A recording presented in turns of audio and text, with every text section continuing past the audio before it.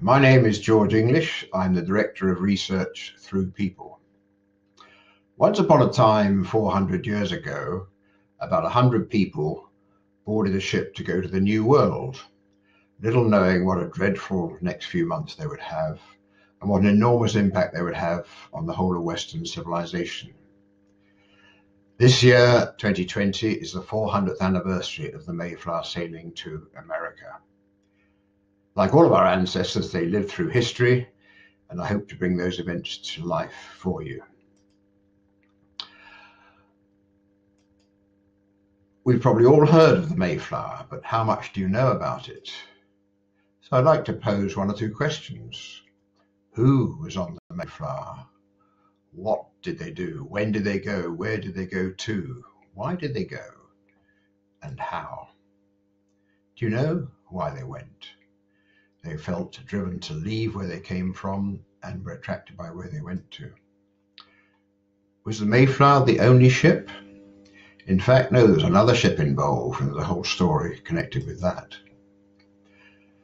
We hear about the pilgrims and the religion and so on. Were they all religious pa- passengers, religious people?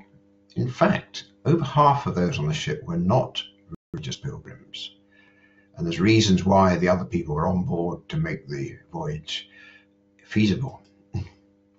And if you were planning this trip, you're going to go to uh, the New World, no housing or anything else. When would you like to get there? Spring, early summer? Yes, that's not when they went, not what happened to them, and the consequences were dire. So we're going to break this down into five parts of about 10 minutes each. Um, and it's a story that lasts more than 500 years. It starts more than 100 years before they actually left. And you would have heard of the Reformation. We'll talk about that. And the people on the Mayflower wanted to separate from the Church of England. We'll then talk about the voyage itself, and then the pilgrims and how they got on afterwards and their effect on the whole of Western civilization. Uh, many aspects of this the potato and tobacco were things that came along because of this, part of our staple diet and things that have made a big difference to us. Um, parts of the story are far fetched. If you read it in a novel, you'd think, no, that, that, that that's just not believable. But it did happen.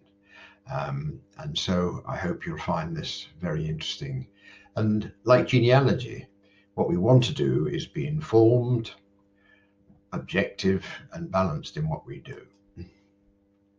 So the Reformation, and this statement is worth considering. We've vaguely heard of the Reformation, the religious changes, but it wasn't just religion, it was the whole effect on the social unity of countries, not just in Britain, but in various European countries, that was the most significant development in the 16th century.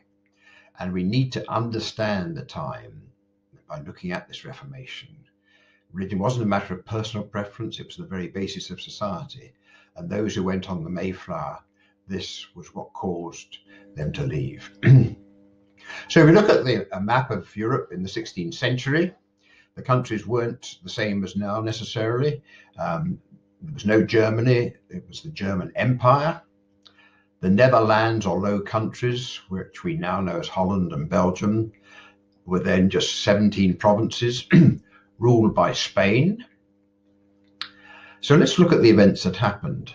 Uh, and they affected most European countries. Italy in 1500 controlled the Catholic religion, the Roman Catholic religion, which was pursued in virtually all the countries we're looking at here. Spain was then the most powerful country in Europe and ruled the Netherlands. and the event that started this in many ways is Christopher Columbus discovering the New World in 1492. the saying is that he didn't know where he was going when he went. When he got there, he didn't know where he was. And when he came back, he didn't know where he had been. But that's where the pilgrims would eventually head to. The other big event was in 1517, Martin Luther nailed up 95 theses on the church door in Wittenberg near Berlin. And basically, these were protesting about a lot of the Catholic Church practices, like indulgences, where if you've done something wrong, say you're sorry, pay us an amount of money, and we'll give you an indulgence and forgiveness for that. And that had an amazing effect. It spread very quickly, both positively and negatively, leading to the Protestant religion. The southern countries, like Spain and Italy, stayed Catholic. The northern ones, a lot of them went Protestant. Um, and another key influencer in this was Calvin, Protestant Puritan religion. He was based in Geneva. Now, England for the 16th century was mainly ruled by two monarchs Henry VIII in the first half of the century, Queen Elizabeth in the second half of the century. And in between, there was a five or six spell by Edward, Henry's son that he finally had, and Mary. And Mary was Catholic, so England went from Protestant, from Catholic to Protestant, back to Catholic, and then under Elizabeth went to Protestant again. Scotland went Protestant fairly quickly in 1560. France persecuted the Huguenots, and later on they would come. And refugees came from these countries. Spain persecuted the Protestants in Netherlands. A lot of them came across to England. Now, the pilgrims that we know of, they were actually living in a part of North Nottinghamshire, the centre of England, spinning briefly over into Yorkshire and Lincolnshire. But the pilgrims who actually were the main focus of those who went on the Mayflower were from a small part of England. And eventually they wanted to separate from the Church of England. They didn't go straight to America. They firstly went across to a place called Leiden in Holland, where they would spend a dozen or so years. And the reason they went to Leiden was by that time the Dutch Republic, which we now know as Holland, had declared independence. And Leiden was then a more peaceful place where the pilgrims could hopefully pursue their religion. But eventually got dissatisfied. And in 1620, as we now know, they boarded the ship, the Mayflower, and went across to America. So we're going to cover these happenings uh, over the piece and what happened to various people, including obviously the pilgrims on the Mayflower. Now, if we look at England at that time, um, every monarch had things that happened that, that affected people. If you were living in a village in Nottinghamshire at that time, uh, things would happen nearby that you would know about far away, but they would affect things and they'd affect your children and your grandchildren, leading eventually to perhaps your grandchild leaving that village and eventually going to America. So Henry VII was the King of England when Columbus discovered America, and he was followed by his son Henry VIII. And Henry VIII, three of his children became King or Queen of England. His son, Edward VII, who he finally had some 30 years after he'd become king.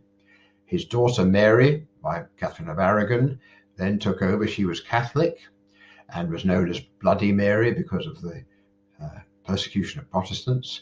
But she died after five years, and then Queen Elizabeth became queen, and she was queen for 45 years.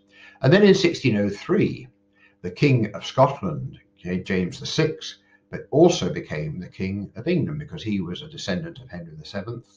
And um, so England and Scotland then had joint sovereignty.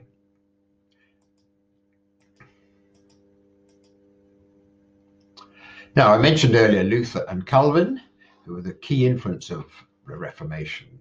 So in 1500, most of Europe was Roman Catholic, but there was a lot of pressure for reform. And Luther was one of these who nailed up these theses protesting about the Catholic practices. And this started to inspire the Protestant Reformation. So he had an influence, but probably the biggest influence was by John Calvin. And he started in the mid 1530s and his influence developed from Geneva, where he lived in Switzerland. And Calvinism was a very strict form of Protestantism. Now, John Knox will be well known to those in Scotland. He went to Geneva when uh, Calvin was there and was very much influenced by him. And 1559, he then went to Scotland, and in 1560, Scotland followed Calvinism, called it Presbyterianism.